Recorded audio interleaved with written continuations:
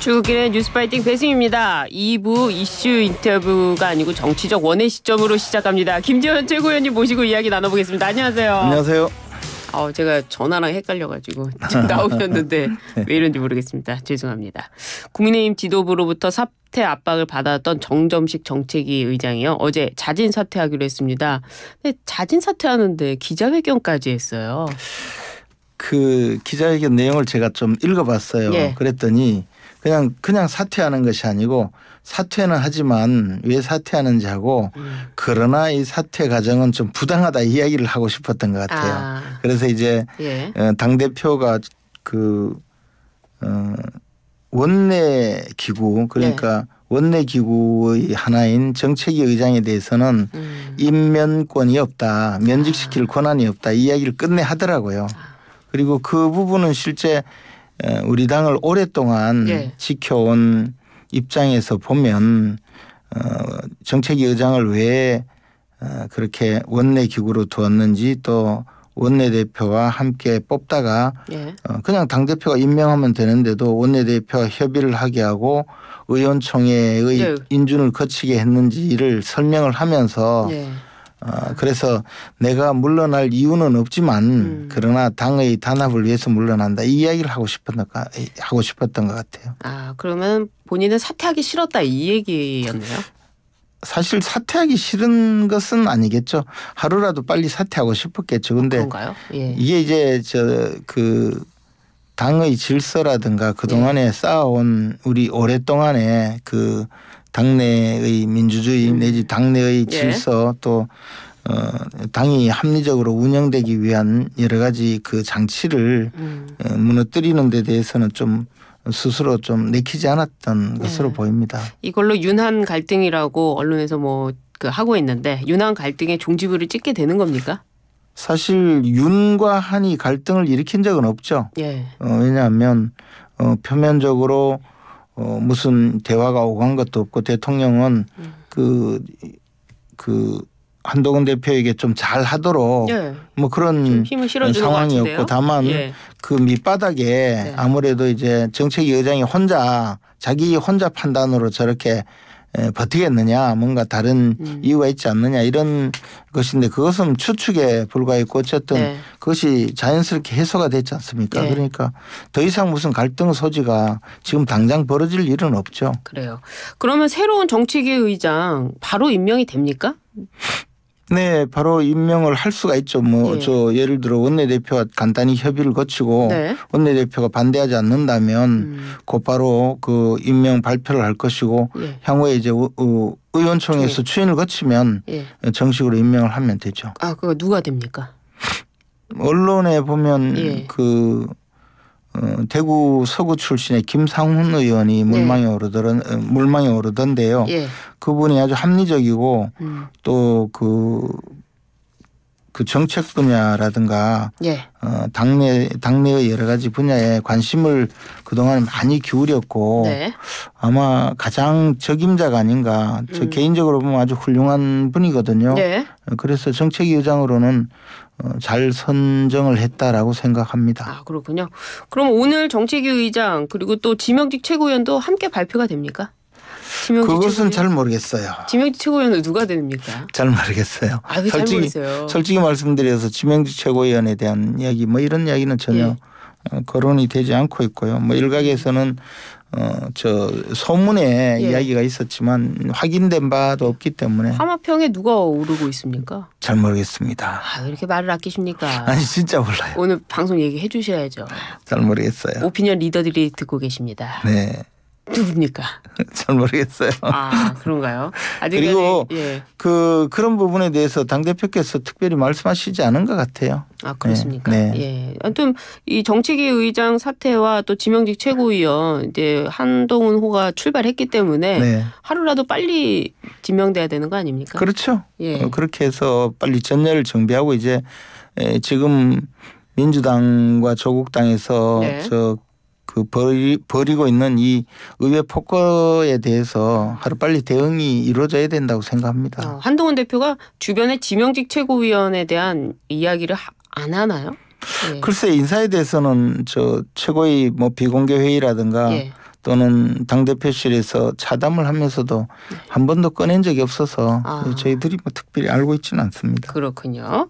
한동훈 대표가 내놓은 제3자 특검법 이건 또 어떻게 되는지 많은 분들이 궁금해하십니다. 어떻습니까 당내 입장은요? 근데 이제 한동훈 대표가 그 처음에 그 전당대회에 네. 그 출전할 그 의사표시 즉 출마 선언을 하면서 그때 제3자가 대법원장 등 뭐 이런 제3자가 특검을 지명하는 방식으로 이 그 최상병 특검법을 우리 당이 주도해서 네. 발의하겠다 이렇게 발표를 했잖아요. 네. 그리고 그동안 사실 한동훈 대표는 그 당시의 그 발표에 대해서 한 번도 물러선 적이 없어요. 그렇습니다. 그리고 어 지금 와서도 민주적 토론 과정을 거쳐서 우리 당에서 네.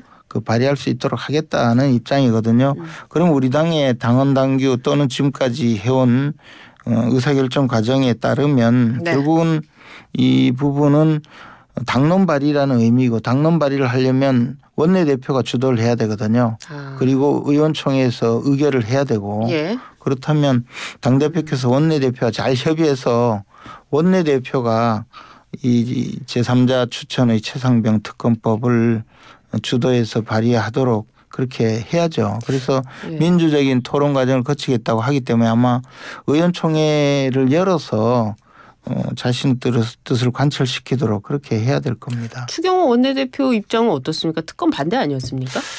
어, 아직까지는 뭐 민주당이 제안하는 저 특검법에 대해서 네. 어, 그것을 막기 위해서 어 그 노력하는 예. 음, 뭐 그밖에 없었죠. 그러니까 사실 필리버스터까지 하고 네. 대통령이 거부권 행사하고 또 어, 재의결을 할 때도 표단속 하느라고 음. 어, 아마 굉장히 골몰했지 않겠습니까? 그렇기 그렇죠. 때문에 그 외에 뭐이 특검 이 특검법은 괜찮다라고 이야기할 여유도 없었고 여지도 없었죠. 그래서 음. 앞으로 이제 어, 이 문제에 대해서는 한동훈 대표가 어, 원내대표와 잘 협의해서 원내대표가 이 최상병 특검법 과정에 한동훈 대표가 생각하고 주장하는 특검법이 발의되도록 어, 원내대표를 먼저 설득을 해야죠. 음, 당내 설득이 우선이다 이 말씀이시네요. 아니 우선이 아니고 그 방법밖에 없어요. 추경호 원내대표를 설득해야 된다. 그리고 네. 의원들을 설득해야죠. 그분들을 최소. 최소 그 어, 의원총회에서 통과가 되어야 당론 발의가 가능하죠. 물론 뭐 그냥 뭐 의원총회 통과 안 될 가능성이 있다는 겁니까? 지금 분위기로는 쉽지 않다고 신동욱 그 대변인이 이미 네. 그 그렇게 에, 저 인터뷰를 했더라고요. 실제로 분위기도 그런 걸로 알고 있고요. 그러니까 대표께서 어, 그 부분에 대해서 자신의 소신을 정확히 밝히고 의원들을 설득하는 그 노력과 그 결과물로서 당론 발의가 가능하죠. 물론 의원 10명이 연명으로 어, 그 법률안을 발의할 수 있거든요. 그리고 네. 개인적으로 법안 발의를 할 수는 있습니다. 그러나 그것은 당론 발의가 아니고 우리 당이 주도해서 네, 어, 특검법을 발의하겠다고 한 것에 대해서는 미치지 못하죠. 그러네요. 알겠습니다. 어, 법야권에서는 이진숙 방통위원장 취임 이틀 만에 탄핵 소추안을 발의했습니다. 헌재 탄핵 심판 결과가 나올 때까지 뭐 이 직무가 정지되기 때문에 사실은 그 동안에 방통위원장은 다 사퇴를 하지 않았습니까? 네. 그런데 이번에는 탄핵 결과를 받을 것 같아요. 어떻습니까? 그게 그동안에 사실 그 김홍일 방통위원장을 탄핵한 것도 네. 이거 바로 미 저 MBC 문화방송의 사장 네. 그 선임권을 갖고 있는 음. 방송문화진흥회에서 어 MBC 사장에 대한 임명권을 행사하지 못하도록 예. 그 방송문화진흥회의 기능을 정지시키기 위해서 한 일이거든요. 아, 그래서 방송문화진흥회의 이 이사들이 12일이 되면 이번 달 12일이 되면 네. 임기가 만료되거든요. 그러니까 어떻게든 그 이후에 방통위에서 새로이 그 어, 여당 추천 몫의 여섯 명의 이사를 추천하지 못하게 막기 위해서인데 그러니까 사실 탄핵 자체에 이유가 없었죠. 김홍일 네. 예, 위원장에 대해서 이유도 없었고 지금 이준숙 방통위원장도 사실 네. 한 일이라고는 사인한 것밖에 없거든요. 그렇습니다. 그런데 그 우리 헌법에 따르면 대통령, 국무총리, 국무위원들이 재직 중에 그 어, 제 직무와 관련해서 헌법과 법률에 위배된 행위를 했을 때 그렇죠. 탄핵이 되거든요. 네. 그런데 도대체 무슨 위법한 행위를 냈나요? 국민들한테 계속 주장하는 것은 무슨 음. 옛날 옛적에 대전 MBC 사장 시절에 어, 법인카드 사용에 문제가 있다 이 주장인데 그것은 뭐 대전 MBC 측에서 민사소송을 걸든 형사 고발을 하든 그 사안이지 예. 민주당이 나서서 지금 탄핵의 사유로 삼을 어 그것은 그렇죠. 헌법에. 예, 헌법의 위반이죠. 예. 그리고 직무와 관련된 것도 아니고 예. 그러니까 결국은 어떻게든 저 방통위원장의 손을 손, 손과 발을 묶겠다는 것뿐인데 어 이준숙 방통위원장 이미 숙제를 다 했죠. 아 그렇습니까? 네. 네. 어, 민주당도 생각하는 이. 것은 예. 오로지 MBC 문화방송 사장 그 임명권 행사를 못하게 하려고 하는데 그것을 담당하는 박문진을 구성해 버렸지 않습니까? 그럼 그렇습니다. 박문진에서 이제 음. 역할을 할 것인데 박문진은 탄핵 대상이 아니거든요. 아 그렇게 되는군요. 네. 예. 근데 이 습관성 탄핵이다 이런 얘기가 많이 나오고 있어요. 국민들이 볼 때 어떻게 볼것 같습니까? 뭐 습관성 탄핵이라기보다는 예. 어, 자기들도 왜 이렇게 될이 될 것을 모르겠습니까? 근데 이게 MBC 내에도 민주당 지지 세력이 많거든요. 예. 그 노조를 중심으로 한. 근데 그분들에 대한 이 서비스죠. 일종의 우리는 이만큼 했다. 당신들을 예. 어, 위해서 우리가 이만큼 했다라는 걸 보여주고 음. 또 민주당의 저 그 강성 지지층 네. 이른바 개딸들 음. 그분들한테도 우리가 이만큼 노력하고 있다라는 네. 걸 보여주고 음. 어, 우리는 이만큼 힘이 세다 힘자랑도 하고 예. 그래야 이제 아직도 사회 곳곳에 있는 민주당 지지 세력이 아 우리도 구해주겠구나 음. 네. 우리 편을 들어, 들어주겠구나 이런 어, 마음에서 계속 음. 그 민주당 세력을 위해서 노력할 수 있거든요 여러 가지 네. 아. 예, 그 민주당을 돕기 위해서 어, 지지 세력들이 힘을 모을 수가 있죠 그런 자신들의 지지 세력을 바라보고 이렇게 사실 말도 안 되는 음. 탄핵을 반복하는 거죠. 그러나 헌법에 규정된 탄핵은 이런 때 쓰는 게 아니거든요. 네. 그걸 뭐 습관성 탄핵, 무고 탄핵을 에, 저 넘어서서 예. 이게 바로 반헌법적인 에, 행위죠. 그리고 반헌법적 탄핵 행위고 이것은 사실 에, 국민들로부터 결국은 에, 심판을 받을 사안이라고 봅니다. 아 그렇군요. 지금 민주당에서 또 전국민 25만 원 지원법, 또 노란봉투법, 국회 본회의 상정을 하자마자 또 국민의힘이 즉각 필리버스터에 돌입을 했습니다. 필리버스터 어떻습니까? 이게 이제 네. 필리버스터라는 것도 사실 마찬가지로 또 계속되니까 이제 국민 관심이 점점 떨어지죠. 그렇다고 국민들에게 이 그 문제가 있는 법안을 네. 그대로 또 보고 있을 수는 없으니까 참 여당도 할 수 있는 것이 필리버스터 그 네. 궁여지책으로 하고 있다고 생각이 돼요. 근데. 예. 사실 우리가 보여주고 있는 필리버스터도 이게 무제한 토론이잖아요. 그렇죠. 그리고 그 소수당에서 예. 할수 있는 마지막 수단으로 필리버스터를 하는데 제가 그 기록을 찾아보니까 미국에서는 1957년도에 상원 네. 의원이 인권법 그 저 민권법에 반대해서 네. 24시간 넘게 연설을 한 기록이 있더라고요. 아 그렇군요. 예, 그러니까 이제 우리나라 필리버스터를 제가 탓하는 것이 아니고 그 절박한 필리버스터고 네. 그것이 이 사회적 반향을 일으켜서 음. 사회 운동이 되기도 했는데 예.